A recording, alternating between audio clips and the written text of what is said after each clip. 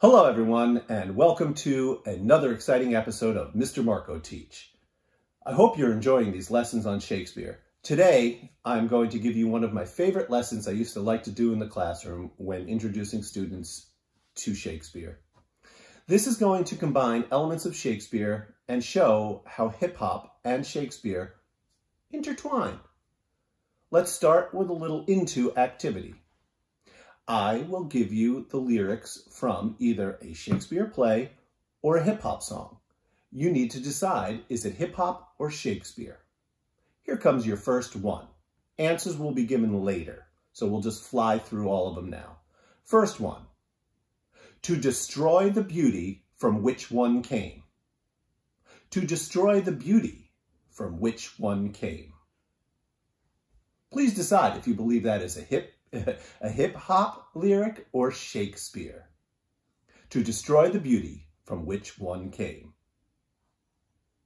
Number two, maybe it's hatred I spew. Maybe it's food for the spirit. Maybe it's hatred I spew. Maybe it's food for the spirit. Decide if you believe it is hip hop or a Shakespearean line. Maybe it's hatred I spew. Maybe it's food for the spirit. Number three, men would rather use their broken weapons than their bare hands.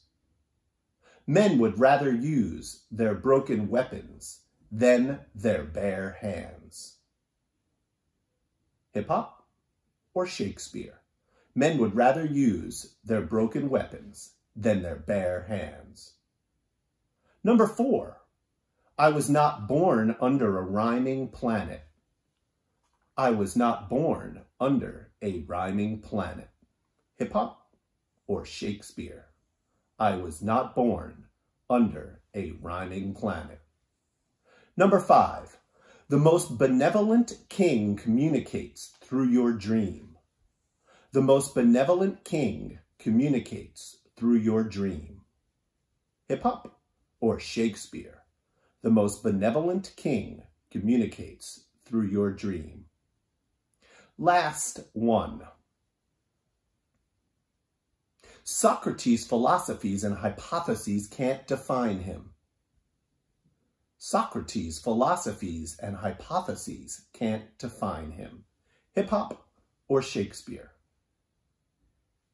Socrates' philosophies and hypotheses can't define him. As you watch the next video, the answers will be embedded inside it. Please don't cheat, just try on your own. It's very difficult to get all of them correct, but good luck and thank you for participating. This video will is from TED Ed, and it is um, from a British rapper named Akala. He will present to you how he views Shakespeare and hip hop and how there is with the iambic pentameter a rhythm, a beat to either how Shakespeare has written some of his lyrics and, and poems and dramas and how um, hip-hop artists also embed that same technique into their works. I hope you enjoy the video as it looks over hip-hop and Shakespeare. Thank you.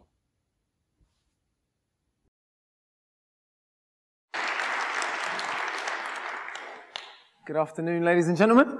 Um, if I could request the resetting of the clock, because it's a four minutes at the moment. I presume from the one before. Fantastic. Okay, so my name's Akala. Uh, I'm from the Hip Hop Shakespeare Company. And before we get into the philosophy of, of, of our work, what that means, what the intention is behind it, I'm going to challenge you guys to a little bit of a pop quiz. And we've done this pop quiz quite a few times. We'll talk about it after we do it. I'm going to simply tell you some quotes. One line quotes taken either from some of my favorite hip hop songs or some of my favorite Shakespearean plays or sonnets.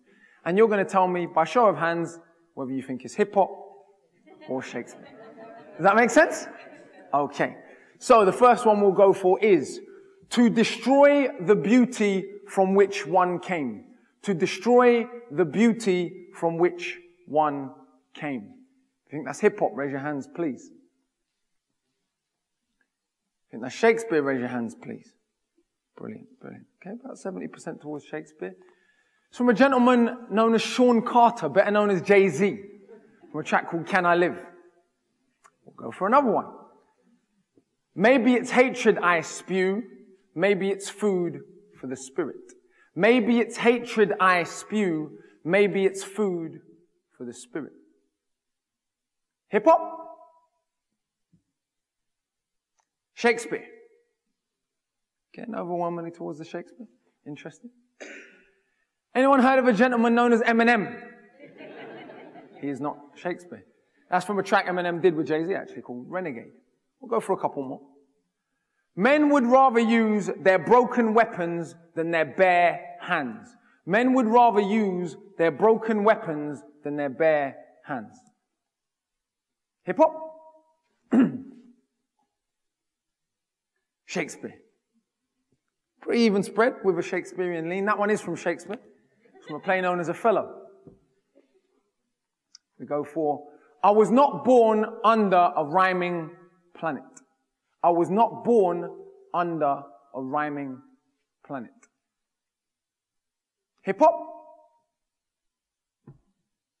Shakespeare. That one is Shakespeare. So much ado about nothing. We'll go for two more.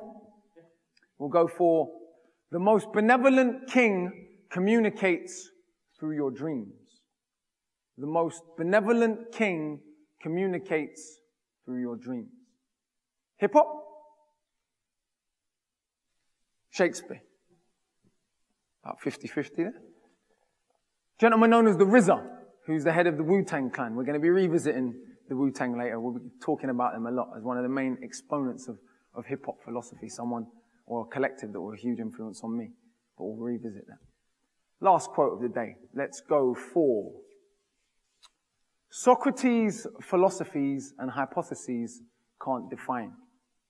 Socrates' philosophies and hypotheses can't define. Hip hop? Shakespeare. Overwhelmingly towards hip hop on that one. That is hip hop. That's Wu Tang again. That's from a gentleman known as Inspectah Deck. Interestingly, that quote comes from a single, a track known as Triumph, from the album Wu Tang Forever. Wu Tang Forever was the first hip hop album to go number one in this country. So that was what made hip hop crossover, was this kind of lyricism. But we're going to revisit that a little later and revisit the Wu Tang, as I said. So, as you can see, it wasn't as clear cut as many of us may have thought. The language used, the subject spoken about, various things make it very, very difficult once the context is taken away, once our perception is taken away, and we have to look at just the raw language of the two, uh, the two art forms. And don't worry, we've done that exercise over 400 times, and as yet no one has got them all right. Not even some of the most senior uh, professors at some of the most respected Shakespearean institutions in the country. I shan't name names. Um, but needless to say, it's challenged a lot of people's perceptions. And we extend from there. We look at some of the other parallels between hip hop and Shakespeare, some of the other things that they share. One of the main things that is shared between the two is, of course, rhythm. The iambic pentameter, di dum, di dum, di dum, di dum, di dum. Five sets, two beats is actually a wonderful rhythm to use in hip hop music and translates in a way that even artists writing today find difficult. What do I mean by that? So it's very difficult to take, even as an MC who's a professional MC, a lyric you've written over a grime beat. Grime is 140 BPM, very, very fast uh, tempo. And then take that same lyric and put it on a, what we consider to be a traditional hip hop beat, 70, 80 BPMs. It's a very, very difficult skill, even writing now with the music to hand. Yet the iambic pentameter allows us to do just that. But I'll show you what I mean rather than tell you. So listen up.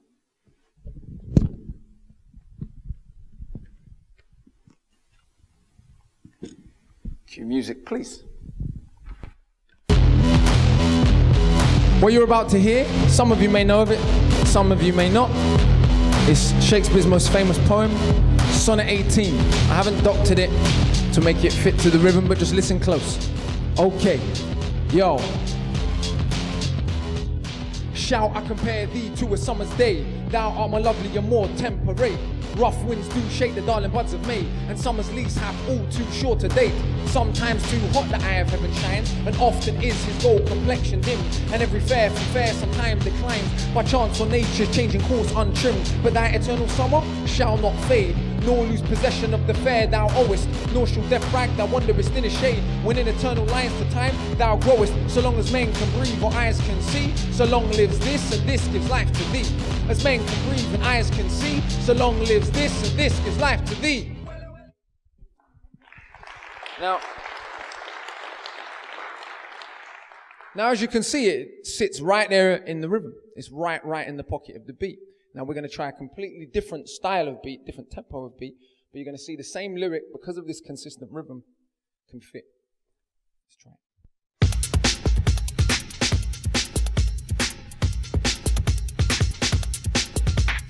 Shout, I compare thee to a summer's day. Thou art more lovely and more temperate. Rough winds do shake the darling buds of me, and summer's leaves have all too short a day. Sometimes too hot, I have heaven shines, and often is his gold complexion dim. And every fair from fair sometimes declines. By chance or nature, change the course untrimmed. But that eternal summer shall not fade, nor lose possession of the fair thou owest. Nor shall death brag, thou wanderest in the shade. When in eternal lines the time thou growest, so long as men can breathe or eyes can see, so long lives this, and this gives life to thee. As men can breathe and eyes can see, so long lives this, and this gives life to thee.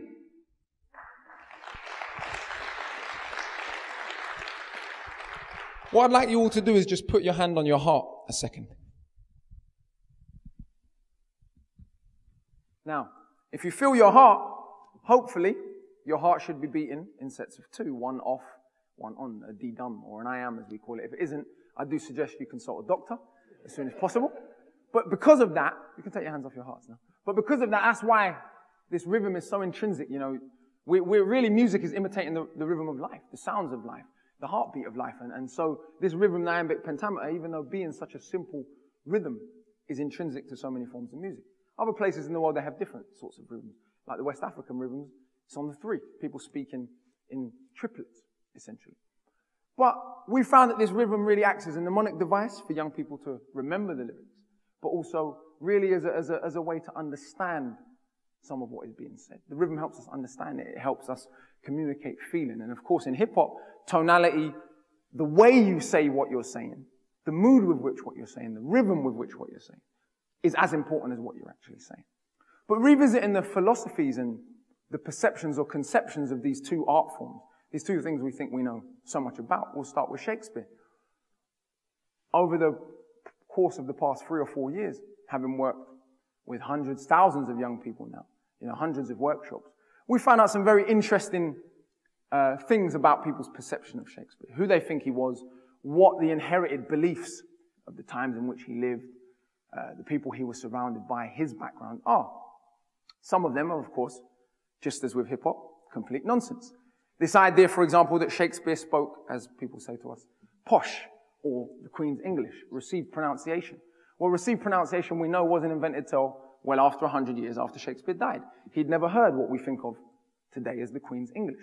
When he was alive, people spoke a bit more like a mix between people from Yorkshire and Cornwall. So, for example, the word hours was pronounced ers, ers and ers and ers. Or mood and blood rhymed. Mood and blood was the way in which people would have pronounced those words. You know, the times in which he lived, you know, the chasm between rich and poor being larger than it is today, though we seem to be doing our best to, you know, recreate that chasm.